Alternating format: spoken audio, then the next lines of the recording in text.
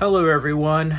Today we had a new DCU, DC Cinematic Universe slate from James Gunn, or at least part of it, for Chapter 1 Gods and Monsters. Listen, I have been burnt, like many of you, by DC on film, and Warner Brothers in particular, and then WB Discovery, filled with hope for what may happen with Henry Cavill's return, Gal Gadot, Lynda Carter teaming up in Wonder Woman 3. You know, that post-Black Adam credit sequence, what that may mean after the Snyder Cut was finally released. Will it be restored? All this sort of stuff. But I can't help but wonder, was it just a zombie of the Snyderverse, you know? And it's sad because I really wanted it to have a proper conclusion.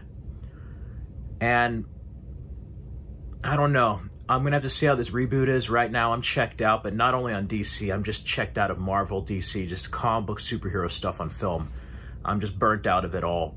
But James Gunn had a video today, and he revealed some of the slate and what's going to go on, and there's some great stuff here. My main hope is that they actually make most of these films, if not all. Because, you know, 10 years ago, you remember the DC slate after Man of Steel, they announced, like, uh, Wonder Woman, Flash, untitled movie, which probably was going to be like a Man of Steel sequel or a Ben Affleck Batman movie. Ben Affleck's the Batman. And uh, we're going to have Green Lantern Corps. We're going to have Cyborg. A lot of those films did not get made. Justice League 2 did not get made. There's a lot of drama, a lot of politics that happened within the studio. And you had films that were still made, some that weren't very comic book accurate, but were still enjoyable and entertaining. Others that were surprises. Comic book movies like Aquaman that embraced its comic book roots. I just hope that most of these films get made because a lot of the films in the DCEU were never made.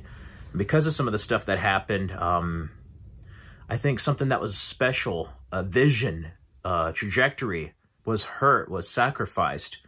David Ayer's Suicide Squad might have been a completely different story. That's personally not one of my favorite DCEU films, but I still want to see his original cut. Um, if it wasn't for interfering and cutting up movies or uh, firing people and rehiring or creative differences, who knows what type of universe we would have had. If they weren't trying to be Marvel 2.0, we might have had the actual DC universe. Most of the best DC films, you look at Zack Snyder's Justice League, you look at Joker, you look at the Batman, most of them do not try to be like Marvel. They stay true to the characters of DC. That's what makes DC Comics unique and different from everyone else. So I saw James Gunn's video on Twitter, and it was a pretty good video, uh, I'm going to be honest. He, of course, is going to use more obscure characters. He did that with Marvel and the Guardians of the Galaxy. He did that on Peacemaker. I wasn't too much of a fan of the humor of Peacemaker, even though I think John Cena is amazing as Peacemaker the humor for that show didn't really do it for me, like the Suicide Squad film. It was just kind of like double down on the stuff I didn't like in Suicide Squad. But um, the first one he announced is going to be animation with Creature Commandos. And that's one interesting thing about this DCU. Everything's going to be connected. I hope it is. I hope they get to make it all because you're going to have the same story or universe across animation, video games, live action and TV. It's pretty cool because you're gonna have somebody like voice a character that plays him in the movie. It's not gonna be kind of like uh like Christian Bale's Batman, but then Gotham Knights in between the films and you get Kevin Conroy, you know, even though Kevin Conroy is amazing. Eh, we're gonna have like the same people involved in the same universe, so that's kind of cool. And Creature Commandos, yeah, it looks like Weasel's there. I haven't uh, seen them before, so that's going to be kind of wacky and zany. Um, and then another one is a spinoff of Peacemaker, and I'm hoping this one's more serious, Waller. I'm glad they did this. Viola Davis, I think, is a wonderful actress. I loved her in How to Get Away with Murder, Fences, The Woman King, underrated film from last year. Yeah, if they do it right, this could be interesting. And um, before I continue, he talked about DC Elseworlds, which I'm so happy. I've been saying for them to do this for years make an Elseworld. So the Batman 2 is announced for 2025, October 3rd. Joker 2 is going to be on there. Another Superman film is going to be on there. What I'm hopeful is that maybe we'll get Gal Gadot as Wonder Woman either in the DCU or just conclude her story in the Elseworlds DC. That's like extended universe. This also brings hope for what other standalone movies they could bring, but also if they wanted Zack Snyder or Henry Cavill or Ben Affleck or certain people back for like a one-off, an Elseworlds label could work, and that's where I remain hopeful in some small degree. But he is rebooting Superman, which I don't think is the right decision, uh, but we'll have to see how it is. I'll remain open. Uh, to be honest, all the Superman actors have pretty much got in the shaft. Like, even Brandon Routh wasn't treated well by Warner Brothers, and, and now Henry Cavill. But uh, Superman Legacy, it seems like he's going to be basing it off of All-Star Superman. And it's going to be interesting to see a younger Superman. I mean, I've kind of seen that before with Smallville, but we'll have to see. We'll have to see this hopeful Superman. I hope it's not filled with juvenile humor. I hope it actually stays true to the Superman comics. That's one thing I also hope, too, is that they're not only true to the characters, but everything's so unique that it still has that diversity there. That's one thing I loved about the DCEU is that, like, yeah, it's not its official name, but, like, each project never felt like it was the same movie. It's not like Marvel, where I felt like I was watching Captain America, A Civil War, and it was like Avengers 2.0. The cookie cutter kind of quippy humor, like, I was not a fan of, but those films, even though it is one universe, they all just feel the same to me. And that's one thing that I appreciated about the DCEU, whether it's Snyder, uh, James Wan, uh, a version of David Ayer, James Gunn, uh, other filmmakers with Patty Jenkins, like each film had its own identity, feel, and look, and they never felt like they were the same. David Sandberg on Shazam, like each film felt unique. And that's one thing I liked about watching those films in a row is that no one film felt like the other in a way. Even though you could definitely tell like the Snyder era and like the Walter Hamada, Geoff Johns like era, like you could definitely tell like how it started with Nolan and Snyder when it went to Geoff Johns, how it got mucked up a bit, and then Hamada kind of was just like having a zombie of DC into something else you could definitely tell the different ways, but each film felt unique. And I hope they continue that here.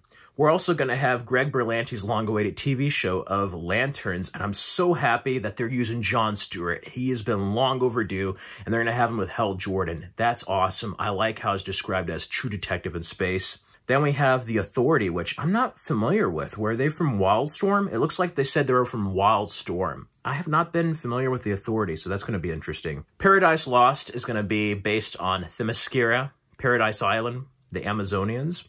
I can't wait for that. That sounds cool. Maybe we'll get some cameos from other actresses who played Wonder Woman. Just get Suzanne Eisenberg, Lynda Carter, Gal Gadot, and then get Conor Leslie on there. Please do it. Do it.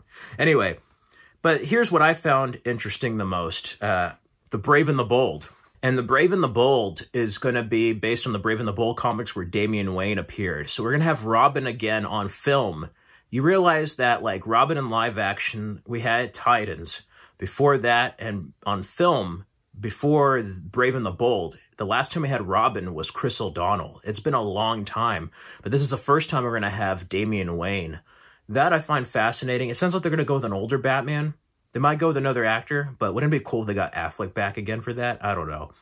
I don't know. Just my thoughts. I'm like, that'd be kind of cool. Or if Michael Keaton's in this universe. I don't know. But, like, we'll have to see what happens uh, on that. And then Booster Gold. Booster Gold actually could work if James Gunn wrote it or was involved because, like, that would match his humor. I, I used to think Nathan Fillion would be good at that, but, like, Chris Pratt, if he's a role, like, I don't want too many actors in both roles, but like Chris Pratt could be a really awesome Booster Gold with like imposter syndrome, you know, put into a superhero.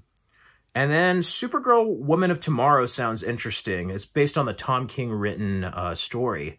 That's one thing I like here that he's doing is that he, they're borrowing elements from the comics, which the last one did as well. I mean, Superman's Secret Origin was kind of put into Man of Steel in many ways. You had the Death of Superman arc. You had a little bit of The Dark Knight Returns and Shazam definitely had that New 52 Shazam story. So they've always borrowed elements from the comics, but I do like how they're borrowing it like directly, and we'll see what happens there. But the movie that I'm really excited for, that piqued my interest because I was just checking it just based on curiosity. I'm kind of checked out. And if it catches my eye, I will watch it.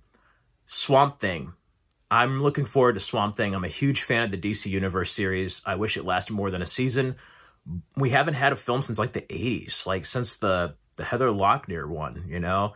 Uh, what was it? There was a Wes Craven Swamp Thing with Adrienne Barbeau, but we haven't had a movie since Return of Swamp Thing. So that's going to be interesting. Fingers crossed that Guillermo del Toro directs that, you know, after Blade 2 Hellboy and Shape of Water and uh, stuff, like I think it would be great for that creature feature, so to speak. But um, it seems they're going to merge it, or I don't know. They're going to have Aquaman, Shazam. looks like they're safe, which Shazam is not tied to the DCEU, but there are a lot of references to the DCEU. So maybe Shazam 1 could take place like after the merged universe if something happens with the Flash.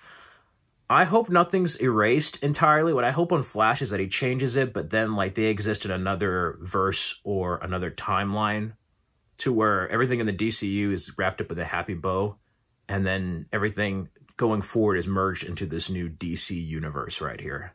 That would be interesting, but who knows what's going to happen. Um, it's a shame that they wasted our previous actors and heroes, but uh, yeah, I remain optimistic here. Um, it's just hard to feel excited as a DC fan, and then we recently had Doom Patrol and Titans canceled, so like I've been feeling pretty depressed lately as a comic book DC fan, but it's nice seeing James Gunn talk about like vision and story remaining key. And I hope he doesn't interfere, and I hope Warner Brothers doesn't make the same damn mistakes again. I wish them all the best of luck. I really do. I hope they get it right this time. I hope they stick to their guns, no deviations, stay true to the characters. But if my characters are going to be shown as like a joke, if it's like the Peacemaker template on every single thing, then that's going to be kind of a problem. But I'm optimistic that they know what they're doing and they have to have a really great sacrifice to like make something out of an eight to 10 year story. It's like maybe this will be all worth it at the end. Who knows? But the Elseworlds label gets me, um, uh, gives me some hope. And then also like, I mean, shit. Did we ever think we would have like Michael Keaton or even Tom Maguire and Andrew Garfield come back in their respective roles years later? Anything's still possible. It may not be the same as it was originally intended, but anything's still possible. We'll have to see about licensing deals, but also I think DC Elseworlds could be cool to see some of these actors who played characters before come back and wrap up their stories or even just do like a one-off. Could you imagine like a Dark Knight Returns adaptation straight out of Frank Miller, but then just get Ben Affleck back and just adapt that whole story?